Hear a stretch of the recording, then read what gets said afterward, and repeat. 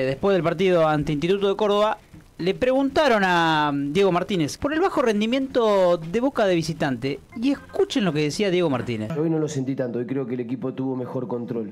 Me parece que fue más parecido a lo que el equipo mostró el primer semestre en partidos como Newell, por ejemplo. En este caso Diego Martínez, pero los entrenadores en general, yo no sé si le ven la cara a los hinchas, le toman el pelo. El partido con Newell donde Boca estaba en su pico de rendimiento, Boca lo gana 3 a 1 en el Parque de la Independencia. De ahí hasta acá, 19 partidos pasaron.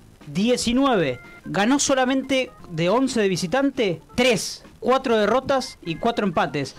De los 3 que ganó de visitante, el, único importante a River. A la postre no le sirvió porque terminó saliendo campeón estudiante de la Copa de la Liga. Y después le ganó a Sportivo Trinidense y a Central Córdoba en Santiago del Estero, que hoy por hoy está jugando un desempate con Tigre por no descender. O sea, ¿Boca se va a conformar con tan poco? ¿Solamente le van a exigir la Copa Sudamericana? Porque digo, el torneo local está décimo octavo de 28 equipos posibles. Faltan 30 fechas. Es un papelón. Bueno, hoy ya se dio a conocer que Riquelme se volvió a reunir por segunda vez con el plantel. El miércoles tiene un partido pendiente. Si no gana, ya van a empezar a cuestionar a Diego Martínez. Ojo que tiene contrato hasta 2025. Hay que decirle a Diego Martínez que gane la Copa Sudamericana, pero que también empieza a levantar en el campeonato porque está en Boca. Estás muy No- se olvidaron con todo esto del mundo River que a Boca le está yendo mal.